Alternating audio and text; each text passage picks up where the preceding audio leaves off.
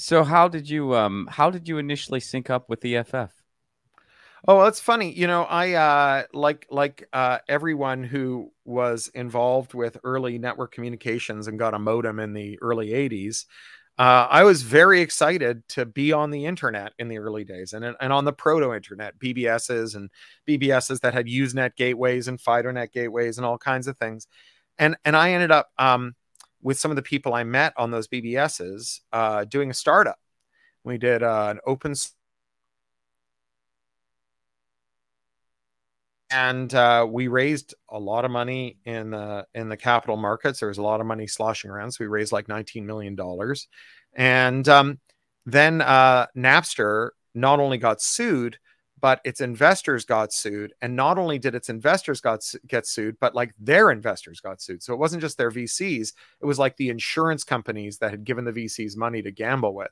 And all of a sudden, every VC that had a peer to peer company in their portfolio went, Oh my God, we are going to die. And so they showed up at our door and they were like, Whatever you're doing, stop right now. Don't get us sued. Don't get our, our, our partners sued. You're going to, you know, like, don't ruin us.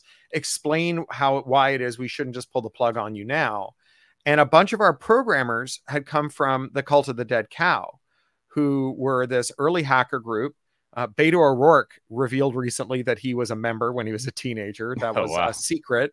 Uh, and um, and and CDC had gotten like terrorized by tech companies, notably Microsoft.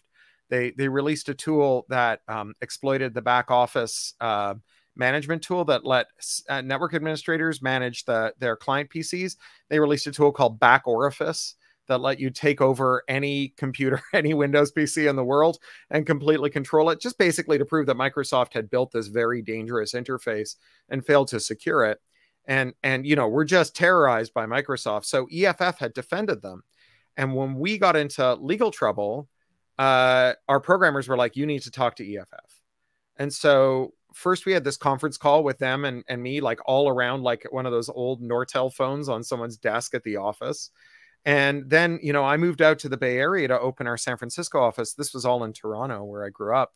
And uh and and I started spending more time with them.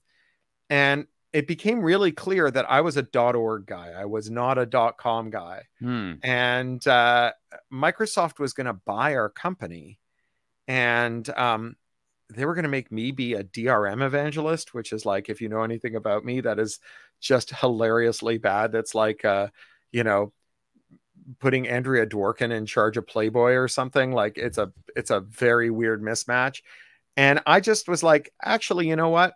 I'm going to go work for EFF instead. So I had I the company had been taken over by our VCs because they were like, "Oh, if Microsoft is going to buy you, we're just going to like pull this really slippery shit and seize control of the company and and take a bunch of the founder shares so that um, we can get a big payday."